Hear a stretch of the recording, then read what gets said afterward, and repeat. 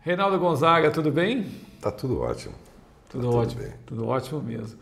Ô, Reinaldo, a gente estava conversando esses dias atrás, eu acho que há dois dias atrás, e eu perguntei, vou começar já essa conversa, essa conversa nossa aqui, falando do seu pai, o seu Castro Gonzaga, uhum. que veterano ator, falecido infelizmente, e que deixou um nome muito marcante né, na, na, na, geração dele, e principalmente nos primórdios da TV, já a cores até, ele participou dessa transição toda. Né? Sim.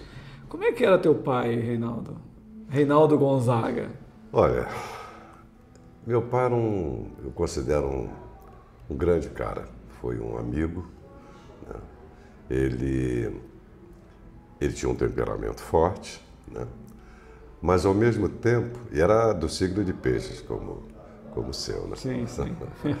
então ele tinha, ele tinha um lado doce, um lado amigo, um lado de, de, de, né, de, confraternizar, era uma pessoa que gostava muito de agregar, né?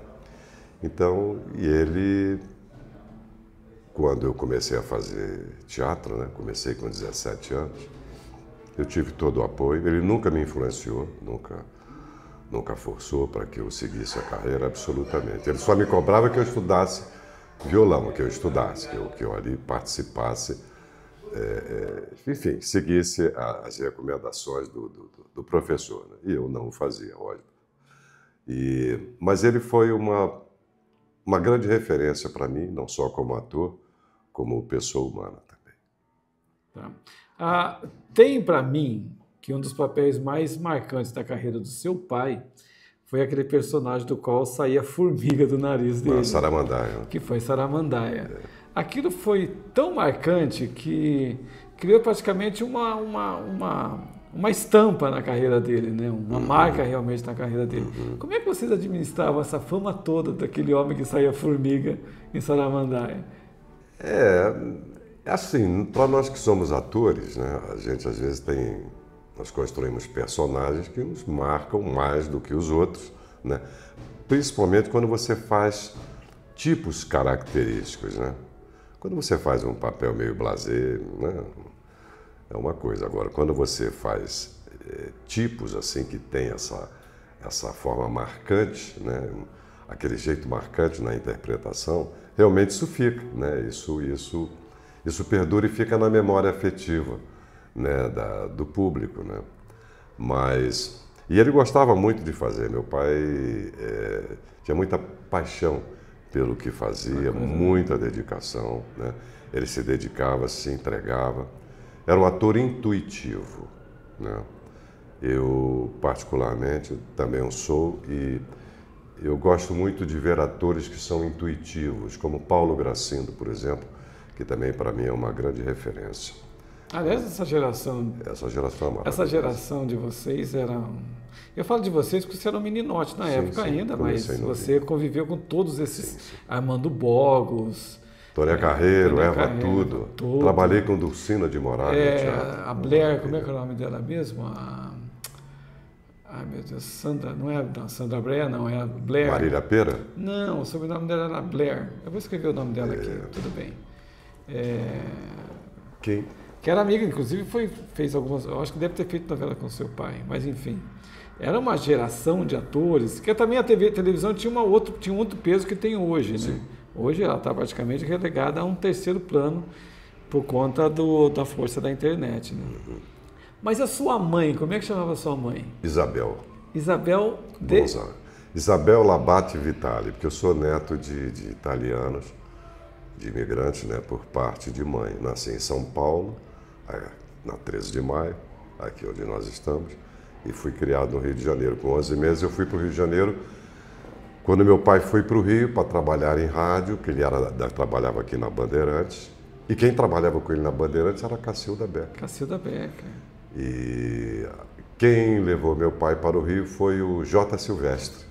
Nossa, que depois ia apresentar os programas Exatamente. 8800, e apresentou isso, um monte isso. de programas interessantes. O Céu é o Limite. O Céu é o Limite, limite isso. isso. Isso, e foi ele que também. levou meu. Tem até foto no colo, né? Com ele lá. e eu fui com 11 meses para o Rio. Então eu fui, na realidade, criado no Rio de Janeiro. Né? Mas sou nascido aqui em São Paulo, paulistano mesmo. E a sua mãe não era atriz? Não, mamãe não. Mamãe não. Como é que ela lidava com dois atores dentro de casa? Teu pai jogando formiga pela, pelo nariz, Nariz. e você judiando da dona Xepa, cara. Pois é. Você foi o filho mais desgraçado do E era Brasil. corte, maravilhoso. Você foi o cara mais odiado naquele período. É, nem, depois ele, depois ele, ele se converteu, depois ele Sim, ficou bonzinho. Mas né? era impressionante o Mas teu nessa papel, época, né, é, cara? é, Porque é. você era o filho da Xepa, cara. Quem iria fazer esse papel, inclusive, na época, era o Marcos Paulo. Isso. Né? Sim. Ele ia fazer. Aí não pôde, algum, algum motivo, ele não me lembro Mas exatamente. Aí Deus eu- faz as coisas certinho. Não, é, nada acontece por acaso, né? Até o que a gente também deixa de fazer, né? Não, você fez alguns outros papéis que a gente sabe, como Minha Eterna Namorada. Minha Doce Namorada. Minha Doce. Foi o Namorada. lançamento da Regina Duarte, que daí veio aquele título Namoradinha, Namoradinha do Brasil, Foi a é segunda isso mesmo. Você estava fiz, lá.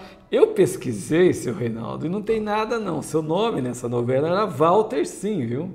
Não, não, Sim, está inclusive dentro do Memória da Globo. Eu fui lá vasculhar o que que era. Eles e seu, vacilaram dessa. seu nome era Walter. em todas as fontes que tem tá Walter. Era Glauco. Glauco. Glauco, Glauco era o nome desse personagem. Que era o trio, né? Era o Enio, Enio, Enio Carvalho, Roberto Pirillo, Cláudio Roberto é o Maza. Roberto né? Perillo, sim. Cláudio Maza. Que eram os galãs da boa, época, né? É. Os galãs da época era você, né, eu estou falando que você já é depois do Francisco Cuoco e da Tarcísio Meira, que estouraram um pouco São- antes. é, é, são estouraram um pouco an, um pouquinho antes de vocês, né? É, depois vieram os galãs, né? Que seria Cláudio Marzo, você, o Pirilo, tinha o quem mais, cara? De bonitão que era vocês mesmo, Não, né, tinha cara? mais- mas eu não gostava negócio de galã, não. Não gostava, não. Eu Gostava de mas fazer é. tipo, tanto que eu recebia memorando, Reinaldo, deita gravado, Reinaldo, não sei o que, engorda, Reinaldo, não sei o que, coisa chata. Gostava de fazer tipos, né? Tive raras oportunidades, mas é, ah, eu não, não. O galã, assim, para mim, não é uma. Fiz muito vilão também, né? Mas as revistas vendiam amor. por conta de ah, vocês. sim, sim, sim, tudo bem. Apresentamos muito bailes de debutantes, né? Isso a gente fazia muito, né? Viajava para fazer os bailes de debutantes. Naquela época, a gente com 20 e poucos anos, 30 anos. Né? Então foi uma época muito boa. Havia muita disciplina. Né? O nosso, hoje, é, a diferença é enorme. Sim. Eu trabalhei com, com grandes atrizes, eh, das quais eu, eu tenho maior carinho e amizade. Não, você E trabalhou simplesmente com todas as grandes Bibi atrizes. Ferreira me teatro, dirigiu em dois sim. trabalhos, fomos muito amigos. Natália Timber, que eu amo de paixão. Beatriz Segal. Célia né? Biar. Célia Biar. Lembrei Célia- o nome, lembrei o nome. Célia Não era, Biar. Bi- não era Blair, é Célia Biar. Célia Biar, que fiz com ela minha doce namorada também. Sim. E também Uma meu primeiro atriz. amor. Sim, Célia Biar. uma grande atriz. Grande atriz, maravilhosa. Excelente colega também. Era uma safra de, de, É. de atores, de, de- Essa turma veio de teatro com outro esclarecimento. E também veio de rádio, muitos deles também muitos, vieram do muitos. rádio. Paulo né? Gracindo, Mário Lago, meu pai, vários, vários atores. Lema Duarte veio do rádio também. A própria, a própria Fernanda Montenegro veio de rádio, sabe que é a Fernanda? Ela, locutora da Rádio Ministério da Educação do Rio de Janeiro. Sim. E, e aqui eu citei agora, irmã da. A, oh meu Deus, eu acabei de falar o nome dela agora. E ah, trabalhei também com a Cleide Ácones, Cleide irmã da. Cacilda Becker. Sim. A Cacilda Becker. Cacilda Becker também veio de rádio, da Rádio Bandeirantes. E quando eles formaram o TBC, meu pai que me conta isso, é, a Cacilda disse, Castro, você tem que ficar aqui com a gente, você é ator para estar aqui trabalhando no TBC. Papai, não posso, eu tenho filhos, eu não tinha condição. Porque quem fazia teatro, é, naquela época, é, onde tinham as companhias, eram pessoas, atores que já tinham um recurso. É, poucos eram os atores É, que tinham eram recurso. atores. E antigamente fazer. era tudo companhia. Companhia é, Paula Tran, Tônia Carreiro, Adolfo Celli, Dulcina. é, a Dulcina também tinha Maria Della Costa, né? Eva Tudor. Tinham as suas próprias companhias de Maria da Costa era lindíssima é, também. né? Então era um outro tempo, né? Bons textos, né? E as novelas também. Era tudo texto inédito, né? Porque eram os escritores estavam atores, aí né? sim. Então a base toda estava naquela época. né? Isso, tudo. Você começou a. Vamos começar do começo então de novo, seu Reinaldo. É Reinaldo Gonzaga do quê? É só isso. Meu pai, uma vez conversando com ele, Meu sobrenome teria que ser Reinaldo Vitale Gonzaga. Né? Que meu, meu avô Arcangelo Vitale, minha, minha avó Chelsea, é, Chelsea Labate, né? E um dia eu falei, poxa papai, como é que você me dá uma mancada dessa? E eu lembro que ele colocou as mãos no rosto assim como você está. Desculpe meu filho, são, são os erros da juventude. Então, na realidade, foi omitido esse Vitale, né? Então, meu nome seria Reinaldo Vitale Gonzaga, mas ele não colocou o sobrenome, que seria, que seria dos meus avós maternos, né? que é, é, sobrepõe-se o nome masculino, né? sobrenome masculino. E aí ficou Reinaldo Gonzaga só. Aí você nasceu aonde? Eu nasci na, no bairro do Bexiga, Aqui, aqui, né? Ah, você falou que nasceu aqui próximo da 13 de maio, rua, onde nasci na está, 13 né? de maio. Você nasceu exatamente. aqui na 13 de maio, né? Mas com 11 meses já estava no Rio de Janeiro, mas toda a minha família é daqui. E você começou a atuar com quantos anos? 17. Teatro. Teatro. Teatro. Quem foi que te chamou para lá? Não sei, caí de paraquedas. Eu A hora que você viu, você estava lá. É, quando eu vi eu estava lá. Com o Bem-vindo Siqueira também, que também não se lembra. E o, o Luiz Gonzaga Júnior, conhecido, que nós chamamos de Luiz. Bem-vindo Siqueira é um baita ator É, também. exatamente. Hoje está morando em Portugal, né? Isso. E, então nós começamos ali juntos. E o Luiz dava aula de violão para minha irmã, o Luiz Gonzaga Júnior. Morávamos todos num bairro chamado Ilha do Governador. E eu sugeri então que tivesse música nessa, nessa peça, né? que era uma peça chamada Joana em Flor e Outras Histórias. Foi o primeiro trabalho. Bom, para encurtar a história, ele entrou no grupo e começou a participar conosco desse trabalho, né? tocando ali o seu violão e com composições também feitas para esse espetáculo, né? que era um, era um texto do Reinaldo Jardim aliado a alguns poemas de Brecht e tal.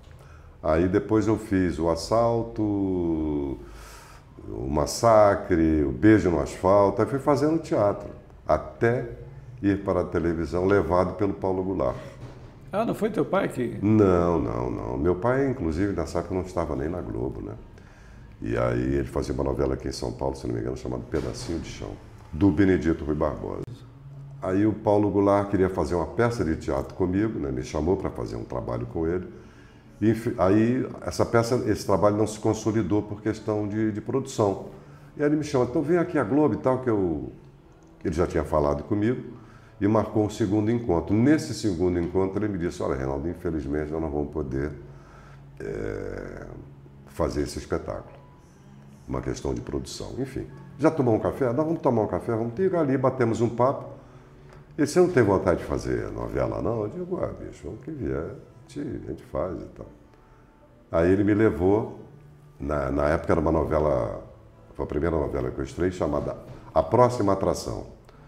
E aí ele me levou o produtor, que esse produtor na época era o Biratã Martins, filho do, do Erivelto Martins com a Dalma de Oliveira, irmão do Peri Ribeiro. Poxa. Era produtor dessa novela. E aí foi ali que eu estreiei, né? E você estava com quantos anos? Ah, eu devia ter meus 21, 20 para 20, 20, 21 anos, eu acho. Por aí, por aí. Estranhou? Não, não estranhei não. E já quando tinha que fazer sotaque de gaúcho, né? Digo, mas como é que eu vou fazer? é, o que era assim, homem, era homem um e homem dois, né? Eu estava iniciando ali, os caras não me conheciam. E aí, na época, o diretor artístico era o Daniel Filho. E que viu a cena, falou, pô, tem que aproveitar esse garoto. Quem me contou essa história depois foi o Walter Negrão, que era o autor da novela. Poxa. Aí eu tinha que contracenar com o Paulo Gracinda. Eu falei, poxa, papai, olha só, o cara é um gaúcho de fronteira, pô, não posso falar desse jeito, carioca. Eu tenho que dar um jeito. Eu nunca tive muita dificuldade de fazer é, sotaques assim, ou de nordestino, ou de mineirinho, ou de papai. Eu digo, quer saber? Eu vou meter um gaúcho aqui. Era gaúcho de fronteira. Aí a primeira fala era assim: dá licença, seu Fredo Balbino. Trago notícias de Bagé. Estive com a guria aquela, tia. Joga limpo que ninguém te ofende, guria. Então meti aquele sotaque, não quis nem saber. Eu digo, vamos ver o que, é que vai dar nisso aí. E, e aí esse personagem passou a ter um nome. O Daniel tinha, não tem que aproveitar esse garoto aí. E aí o meu personagem, esse homem um, passou a ser Tibério. E já a segunda novela foi Minha Doce Namorada. Poxa vida. Foi Que assim. legal. Sempre com esse vozeirão. É, não sei. talvez. Né? Esse vozeirão veio do teu pai, que você tem, é. o mesmo, você tem a mesma voz do teu pai, é impressionante. É. Né? Puxa, né, o DNA. É, não, mas é né? impressionante, porque você ouvi, te ouvindo, parece uhum. que está ouvindo seu pai. Uhum. É uma coisa que uhum. DNA aí está sempre batendo no uhum. talo, né? Sim, tá... sim.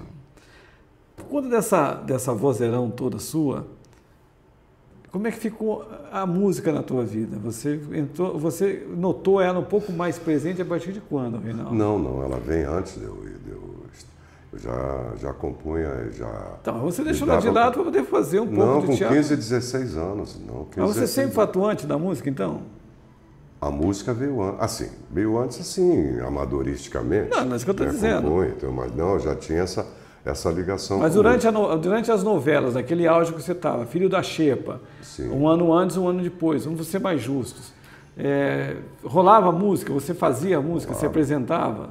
Não, não, a única vez que eu me apresentei bem jovem foi nesse período do teatro com, então, com isso Luiz, que eu estou dizendo. Foi num, num clube lá, cada um cantou uma música e tal, mas a composição não. Eu já componho desde os 16, 17 anos com a minha irmã. Tanto que quando nós o Gonzaguinha foi para o grupo, nós fizemos juntos o tema da peça, que é o de Johnny Flor. Né? Depois ele, ele fez uma outra canção chamada Erva Rasteira, feita para o trabalho. E depois essa música é conhecida. Erva rasteira nasceu para ser pisada, mas descuida, ela paga com espinho. O homem que é homem de valor se levanta e conquista o seu caminho, etc. Essa música foi feita Bonito. para a peça Joana em Flor, onde depois ele grava um compacto com essas duas músicas, quando ele, nós é, estávamos fazendo uma viagem para Aracaju, ele conheceu o João Melo, que era produtor da Philips. Poxa. Entendeu? Vida. Então, mas a música, o que acontece? É... E quando eu tinha uns 24, 25 anos, o Sérgio Melo, filho do João Melo, que era produtor do Luiz Melodia, cheguei a fazer lá umas, umas músicas lá na, na Som Livre. E eram músicas já, já composições nossas. Putz. Só que o João depois foi para Paris, o Sérgio Belo foi depois para Paris, foi morar na França, entendeu? Largou tudo, abandonou tudo e a gente também ficou. Isso foi na Som Livre, fizemos as, essa primeira experiência lá, na Som Livre. Porque você fez uma apresentação aqui, olha que coisa engraçada. Quando o teu nome apareceu para a gente, a gente se encontrou, na verdade, num show do Kleber aqui. Uhum. Isso estamos falando de uns 5, 6 anos atrás. Uhum. Aí, a sua produtora na época, que era a Suzy Sherb, uhum. eu falei assim, Doni, esse aqui é o Reinaldo, canta muito e compõe músicas lindas. Eu fiquei com aquilo na cabeça. Uhum. Ela assim, vamos fazer alguma coisa aqui, assim, assim, assim, assado. Entrou a pandemia, a gente não fez nada. Mas eu falei assim, mas, poxa, mas eu conheço ele como ator, como filho da Xepa, ele não tem nada a ver com música. Até que eu me deparei com Elliot Jazz e comecei a ver as outras suas composições. Tu escreve muito bem. Você é um grande compositor. É impressionante a tua pena. É assim, você escreve muito bem, suas músicas são muito bem escritas. Agora, a sua predileção, porque eu estou vendo, é muito bossa nova. Uhum. Isso é por conta do Rio, isso é por conta do tom, ou isso é porque é uma maneira mais fácil que você encontrou de compor as suas composições naquele estilo? Não, porque na realidade eu tenho canções minhas, as canções que eu fiz não são, eu posso até te mostrar depois, não tem essa linha, essa pegada de bossa nova. Só que quando eu tinha 14 anos, eu foi assim, eu era do rock and roll, então eu vi um programa na rádio a Rádio Marinque Veiga chamada Hoje é Dia de Rock. Let's run for money, babalina. Eu ouvia isso, eu adorava. Pegava um violãozinho de plástico, ficava ali, eu era o próprio. E fechava a porta do quarto e ficava ali. Quando eu, 10 anos de idade, eu fui na vizinha, na casa da vizinha, estava um disco com João Gilberto, Chega de Saudade. Aí eu vi, aquilo me tocou. Vem ouvir o balalá o banana. Aí de Maria Ninguém, tinha essa música. Lindo isso. Vai minha tristeza e diz a Então chega de saudade, eu vi aquilo, aquilo ali me, me tocou profundamente. Aí aquilo ficou. Com 14, 13 anos eu vim estudar em São Paulo, uma cidade chamada Caconde. Fiquei um ano. Meu tio morava lá. Divisa com Minas, né? É. É divisa com Minas, é. Ali pessoal, aliás, tem uma brincadeira que ninguém sabe quem quer ficar com Caconde. Né? Se está em São Paulo. Está em São Paulo, está em Minas. É. E aí, aí eu estudei lá um ano. Quando eu voltei, já com meus 14 anos, aí, por exemplo, eu estava ouvindo um, um Beatles, né? É. Aí eu digo, deixa eu dar uma viradinha no Dá. Eu ouvia, de repente, um João Donato trio. Aí eu digo, vou ficar Swingão E era instrumental, né? Porque geralmente garotada gosta de cantar e tal. Eu fiquei ali, então eu criei essa afinidade. E aí eu fiquei fã da, da, da... do estilo. Do estilo.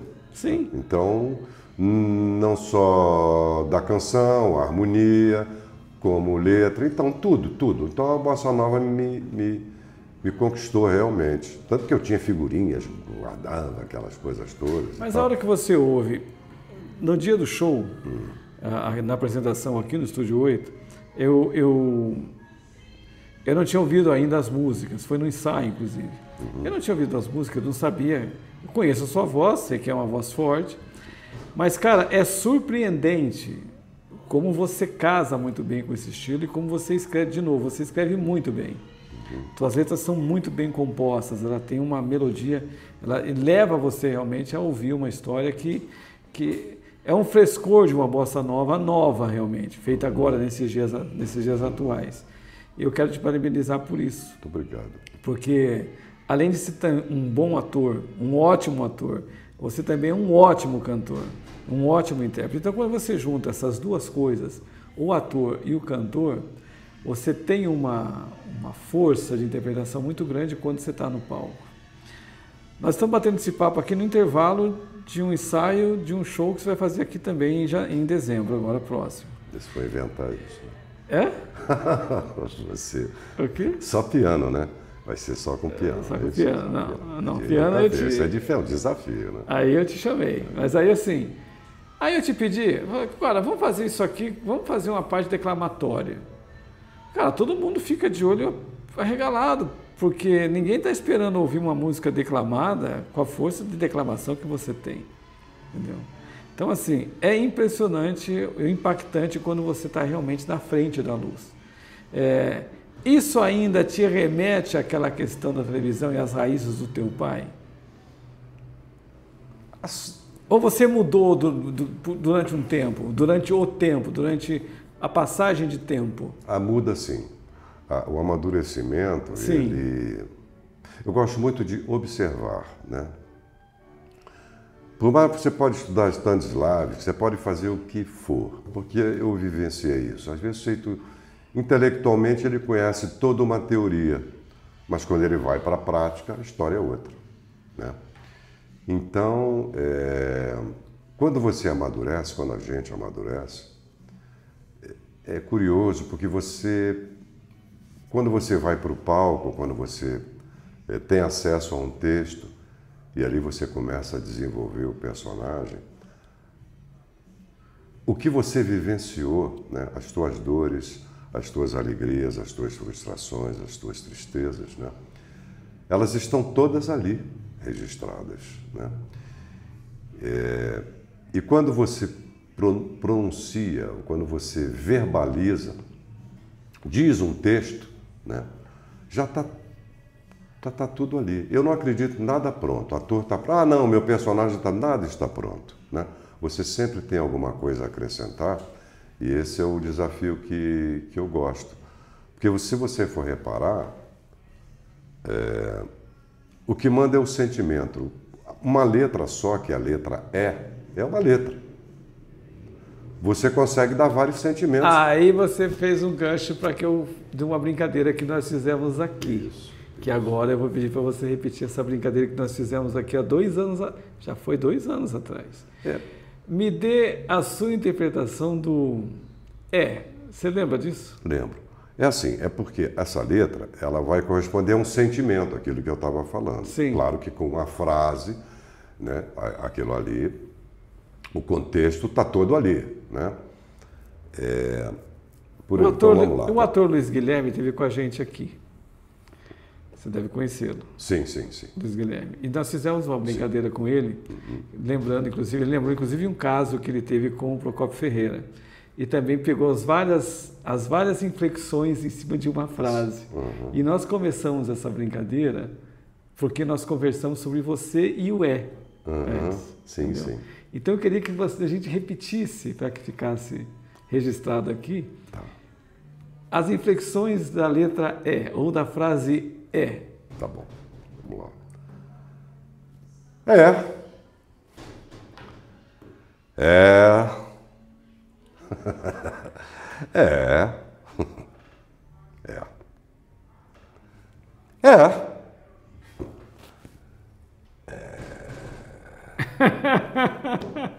Genial isso, Porque passa um sentimento por trás disso. Até aquele. É. É isso. Então, com uma letra, você, você passa um sentimento. Então, quando você. É, eu sabia que isso era possível. É, se deu bem, né? É, não é isso? Seria o subtexto, né? Sim, então, ela cria esse, esse então, se você fosse fazer um teste com o ator, eu ah, toma essa letra aí e, e faz. faz. aí, faz aí. É, é impressionante. Reinaldo, muito obrigado pela sua atenção. É sempre muito bom demais estar com você.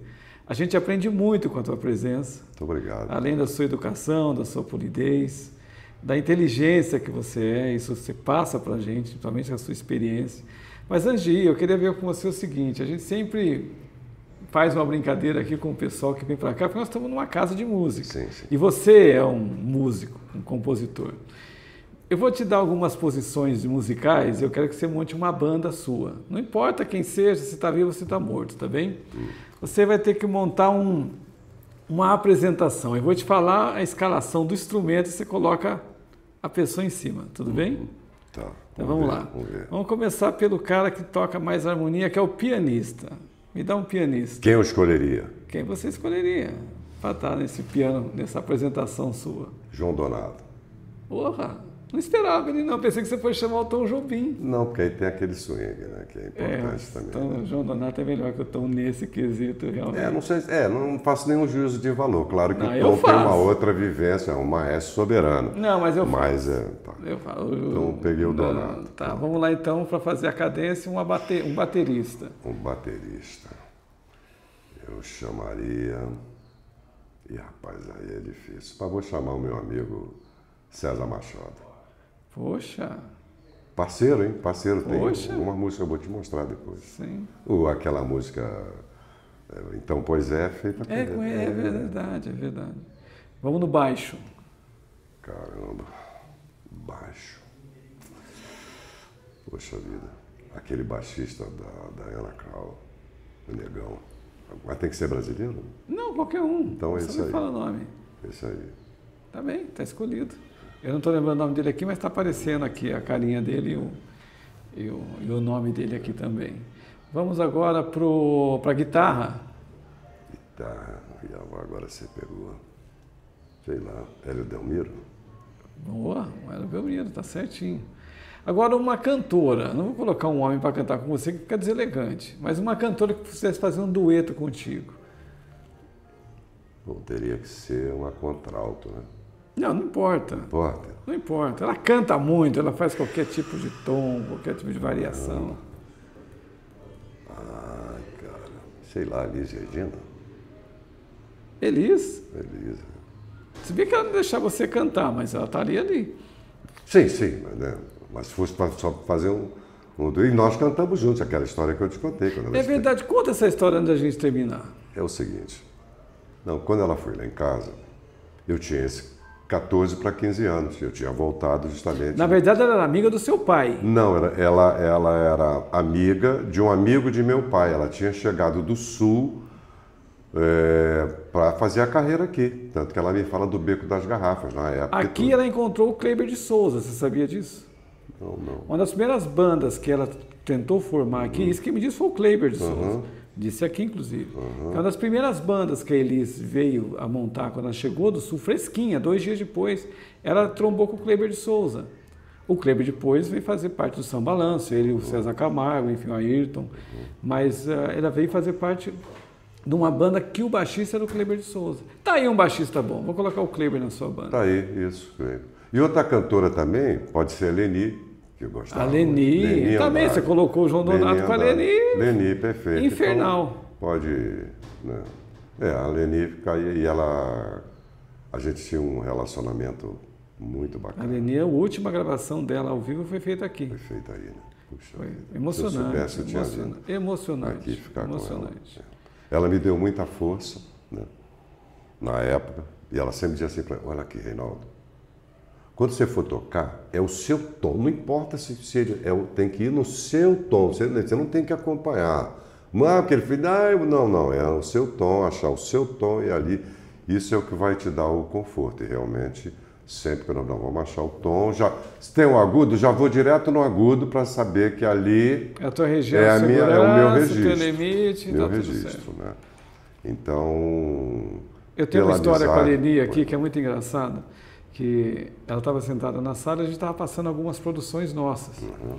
E aí é, nós mostramos um disco do Osmar Baruti com a Alba Santos gravado aqui. Uhum. E ela pegou, encostou a orelha bem perto da caixa e falou assim: Dona, aumenta um pouquinho. Eu peguei, aumentei um pouquinho mais.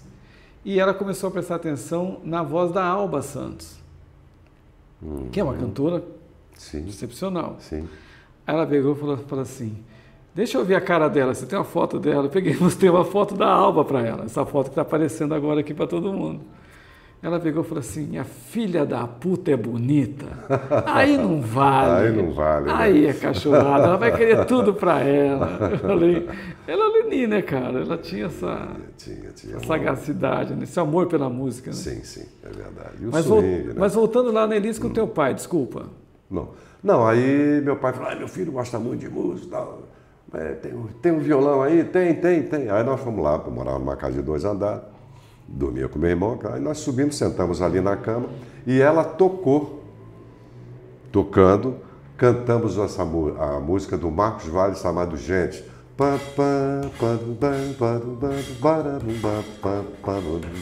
Gente que entende que não sabe dar porque nunca na vida sofreu por não ter. Lembra disso? Sim. Deus, quando fez essa terra pra gente, Pensou em fazer tudo bem diferente. Não que eu queira ter muito. Aí cantamos essa música, só isso. E ela, me lembro, nunca me esqueço. É, ela veio do Sul, né? Rio Grande do Sul. Ela cantou, eu só me lembro desse trecho. Né? Rio Grande do Sul, vou-me embora sem amor. Vou rever meu Rio Grande, vou tão só com a minha dor. Eu só me lembro desse trechinho. Aí canto o ré, mas não me lembro. Né? Isso ficou gravado na minha mente. Né? Aí, e papai falava com ela, ah, ela está compondo, então, ô, ô Castro, cadê a música? Ah, agora virou ator, já estava na televisão, agora virou ator, esquece, esquece. Já imaginou ele exigindo é, a gente que ela descobria cantor hein? É. e compositor, então, já imaginou? tem essas, essas histórias. Não, mas eu boas, acho que né? assim, Legal, né? é, o, que vai, o que é seu na música é seu e vai acontecer, porque as suas composições, de novo, são muito bonitas. Parabéns mesmo, Reinaldo. Muito obrigado. Cara, muito obrigado Eu de te novo. agradeço. Sério mesmo. Você é um querido. Você que é um querido. Você, ó, Todos vocês aqui são muito amáveis e vocês têm um trabalho belíssimo, né?